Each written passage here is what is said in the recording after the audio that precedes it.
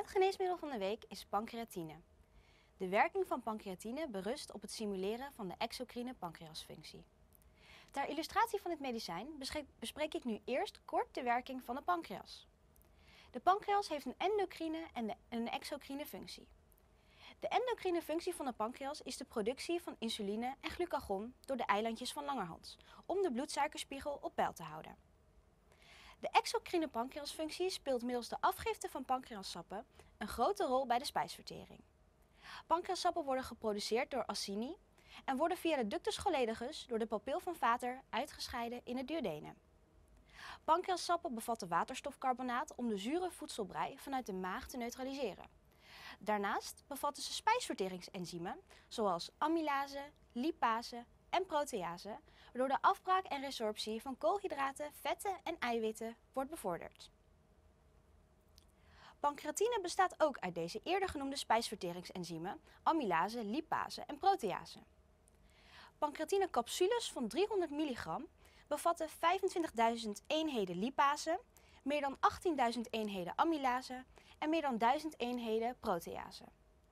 De capsules zijn maagsapresistent, waardoor de pH-gevoelige enzymen gericht vrijkomen in het duodenum, waar de pH tussen de 5 en 6 is.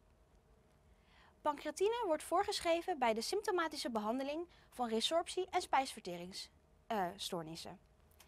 Ten gevolge van bijvoorbeeld de exocrine pancreasinsufficiëntie, zoals onder andere bij cystische fibrose, chronische pancreatitis, na een pancreatectomie of een gastrectomie of bij de obstructie van pancreas en of de galgang. Patiënten die deze aandoeningen hebben lijden door een tekort aan pancreassappen, vaak aan steatoreu en malabsorptie.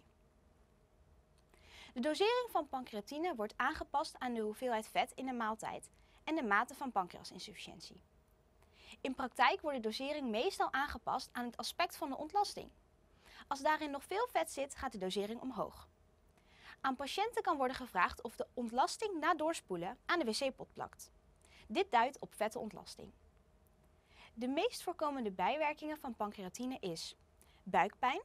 Dit komt in 10% van de gevallen voor. Ook een opgezette buik, abnormale stoelgang, obstipatie, diarree, misselijkheid en braken komen voor. Samengevat.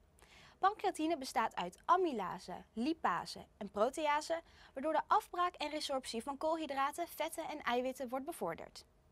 Hiermee bootst het de exocrine pancreasfunctie na en kan dus ook om deze reden worden ingezet bij pancreasinsufficiëntie.